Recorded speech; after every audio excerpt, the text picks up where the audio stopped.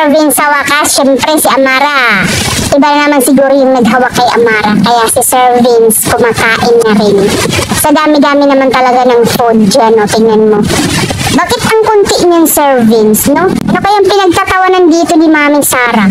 No? Ayan. Amara. Iiyak siya dito. Tingnan mo. Ayaw talagang magpakuha. Gusto pang kumain. Tama na, Amara. Hindi pwedeng patatamis sa'yo. Kaya talagang magpakuha sana niya eh. Pero syempre, magmaritis pa yung mga parents niya.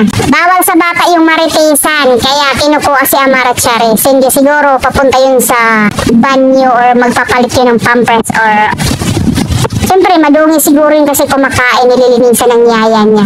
Well, anyway, talagang tuloy-tuloy pa rin yung kwentuhan ni Lumi at Mami Sara dito at si Sir Vince. Talagang tingnan nyo naman si Mami Sara, no? Napakaganda niya kahit walang make-up. At talaga namang hindi mo mawari na yung kagandahan nila talagang pangkalawakan.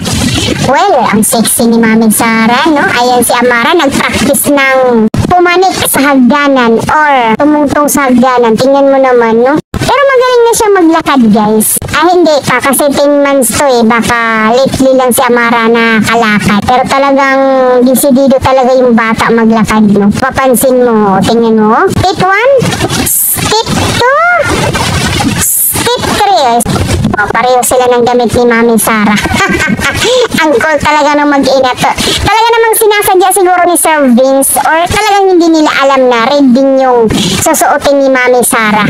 Nagpantay lang, di ba? Ayan, bye daw! Well, anyway, nag enjoy naman sila at syempre, nag-photoshoot na naman sila dito para siguro may remembrance sila.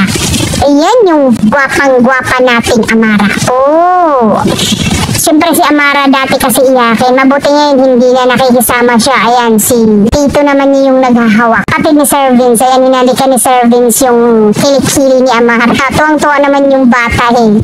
Na hinahalikan lagi yung kilikili ng daddy niya. Tingnan mo. Titig na titig sa tito niya. Bakit nasaan yung buhok mo, Tito?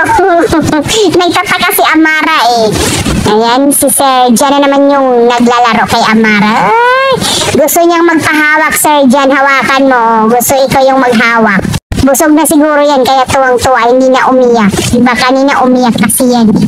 So, yun na po yung update natin, reaction sa mga lalabs natin. At bye! I love you!